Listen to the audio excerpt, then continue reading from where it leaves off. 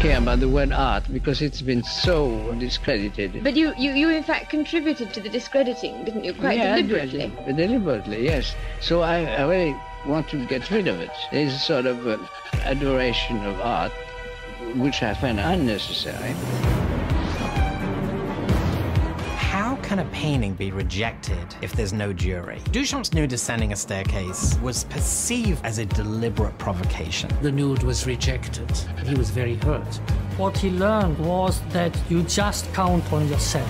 He had to find a new way to make art. He felt that art had become rooted in the past. It had to be rethought and taken apart.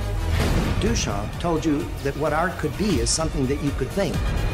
The idea that an idea is art is implicit and inherent in everything anybody does now. Duchamp, you can say that he was the father of conceptual art. It attached itself to lots of artists who were wondering about the origins of art and where to go with it. It's hard to think of art in the 21st century without Marcel Duchamp.